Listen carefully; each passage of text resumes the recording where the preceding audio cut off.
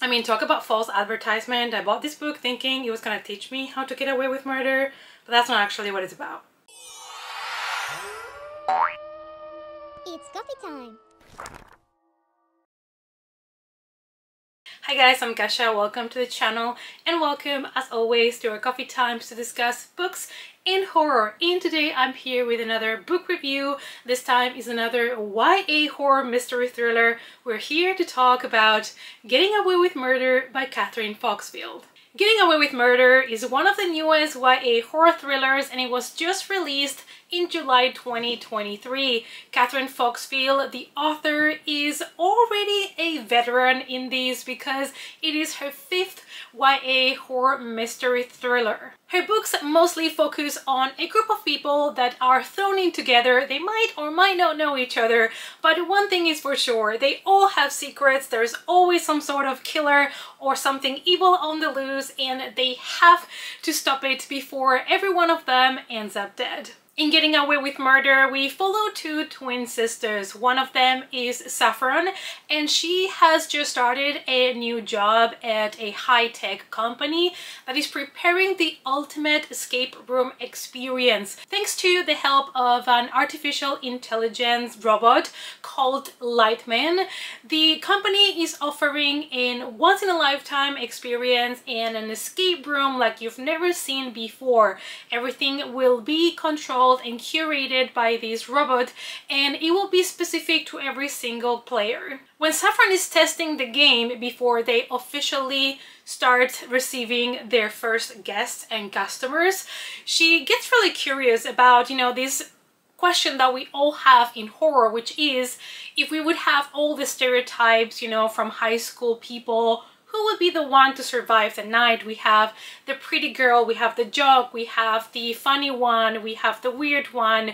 And so we will always wonder who would be best fit to survive a horror movie. And Lightman, the artificial intelligence robot that is working as well in the escape rooms, gets really curious as well about this and the robot wants to learn more about the stereotypes of humans so he decides that it is time to invite people and test that theory of who would survive if you put this type of different characters in a life or death scenario. So a group of teenagers is invited to test the game, to be the first ones to try the escape rooms and one of the participants is going to be Saffron's twin sister Georgia but what they don't know is that actually the games are deadly and they have to try to survive.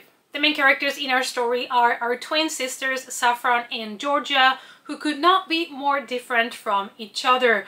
One of them is a rule breaker and the other one follows the rules to the T.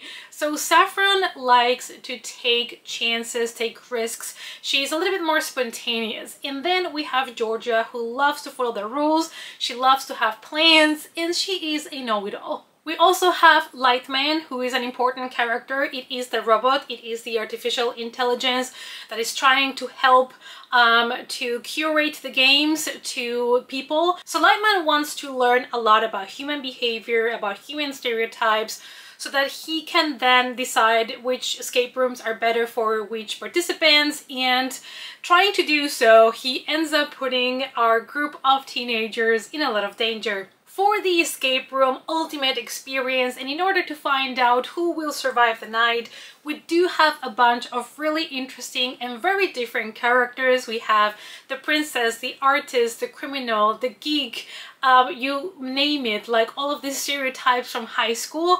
And it is a lot of fun to see because they are introduced with these stereotypes. But then of course as the book moves forward we will see that stereotypes are not exactly always true.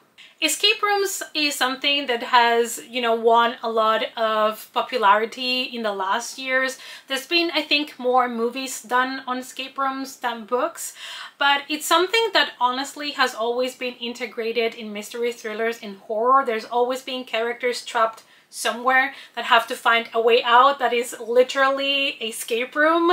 Uh, but now we are getting into the era of more high-tech escape rooms like the movie Escape Room, which offered a lot more, you know, high-tech, really complicated escape rooms. And in this case, we have escape rooms that are very high tech, but at the same time, they are grounded in reality and are controlled by an artificial intelligence. So it also brings up the question of, you know, what would happen if all of these escape rooms would be really basically controlled by a robot. But escape rooms are a concept that is very thrilling. It's very like, it gives a lot, a lot of adrenaline, a lot of tension, and that is something that really works well in the book. Following the approach of these high-tech escape rooms, we also have the topic of the artificial intelligence and what would happen if we keep making progress in that area. It's something, it's a very hot topic at the moment in general, also specifically because of the actors strike and directors strike in Hollywood. And it is something that I think humanity has always struggled with. Of course, when we develop more technology, we get a lot of advantages from it, but how far is too far? How far are we willing to go? And what will happen if we give these artificial intelligence so much power?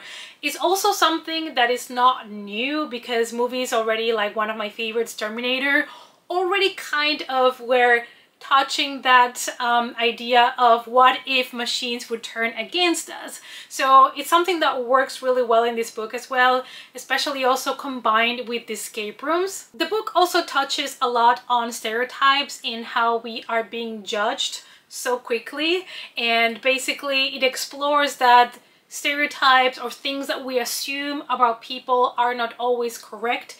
There is always a lot more um, inside of that person and also humans are very unpredictable and you cannot really tell the things that they're gonna do, the things that they're gonna say just based on first impressions.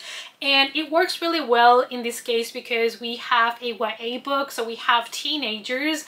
And when you're a teenager, you're being basically forced to pick aside you have to fit a box. People love to put you in boxes and you don't even know who you are so you're still kind of trying to figure it out. So stereotypes don't really work the book includes mixed media, which I thought was really cool to see. You have chat logs and you have like game logs and it is an interesting way to see how our characters were testing the game before they were locked into it. The story is told from the point of view of our twin sisters. So we're gonna have chapters from Saffron's point of view and chapters from Georgia's point of view. And I thought that was really interesting. You can really tell them apart because they have such different personalities and I thought it also kept the book entertaining to switch between their perspectives. And this also allows the reader to know what's going on in different parts inside of the game. The games take place in a renovated bunker from the 1950s and that helps a lot with bringing a lot of atmosphere and it really feels claustrophobic. Being trapped in a bunker and it is also escape rooms that have not been tested before so they're basically being guinea pigs here adds a lot to the feeling of being a little bit scared and unsettled and you don't know what's going to happen to these characters as they progress through the escape rooms, you really feel it's getting more and more claustrophobic. You really feel like asphyxiating. It really manages to keep that tension going to the very end. The escape rooms are themed on childhood games, which I thought was fantastic because childhood games and things that we know and relate to our childhood are normally things that brings us comfort. But now the author is getting these things that we're supposed to be, you know, comforted by and things that should remind us of happier times and they're turning them into a nightmare. so I thought that also was really effective and I think it's a lot of fun like visually in my head I was having so much fun imagining these games. It's also games that you know from your childhood or most of them you've seen before so it's also easy to immerse yourself inside of the rooms instead of having like these new um, kind of rooms that you've never seen before. It just makes it easier for you to immerse yourself in the story and kind of feel what the characters are feeling. And you know that the characters need to solve the puzzles in order to move to the next room if they want to survive. But apart from the horror of these escape rooms that might kill you, you also have a psychological aspect of it because you're also following a group of people that don't know who they can trust and they don't know who is behind all of these, who has trapped them there, who is making them play the games. And so they are all kind of fighting each other. They're all trying to figure out who's behind it and secrets are gonna come to light. What I can tell you for sure is that following them through the games is a lot of fun, trying to figure out what's going on, trying to figure out their secrets and if they are good or bad, it's a lot of fun. And I can also tell you that sadly, not everyone will make it out alive. I did enjoy the violent deaths and the bloody moments and the accidents, but were they accidents really? Kathryn Foxfield likes to write books with darker themes and I think so far the books that I have read have been extremely entertaining. She says that her inspiration comes from when she was younger and basically she used to read a lot of Agatha Christie point horror books and she was also a lot into Doctor Who. Her characters are always very diverse and most in her books you have a group of people that have to try to figure out what's going on, who has lured them somewhere, who has trapped them somewhere before it's too late and they have to survive and that is a trope that I really really enjoy. I love when a group of people go somewhere and they are trapped and they have to make it out alive. So if that's something that you also enjoy, I can really recommend you her books. Let's go through the list of books that she has written so far. We have Good Girls Die First, It's Behind You, Tag, You're Dead, Come Out come out whatever you are and getting away with murder. She has an upcoming short horror story that is featured in a really cool YA horror compilation coming out on the 13th of September called A Taste of Darkness and it includes 13 tales from YA horror authors. And she also has a new novel planned for 2024 called Things That Go Bump and we don't still have a cover reveal or anything for these but it is planned for 2024. The book did give me Saw vibes, you know, you have a group of people that have been trapped, they are forced to play certain games or certain traps because they have to play, they don't have any other choice. If they want to survive, it's either that or already give up and die. If you have enjoyed other books and movies about escape rooms, I think you're gonna have a blast with this one.